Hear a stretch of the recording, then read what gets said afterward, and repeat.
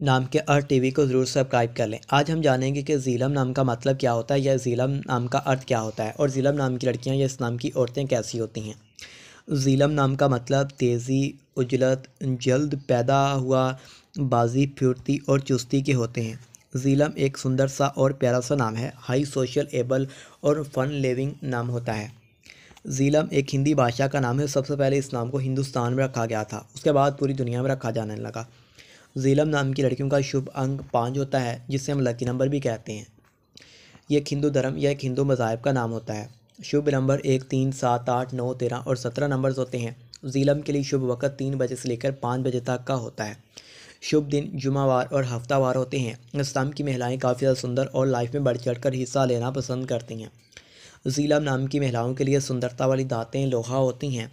सुंदरता वाले रंग, लकी रंग नीला बनफी और काला रंग होते हैं। सुंदरता वाले पत्थर, नीलम, हकीक, दूधिया पत्थर होते हैं। तो आप हमारे चैनल नाम के अर टीवी को सब्सक्राइब कर लें।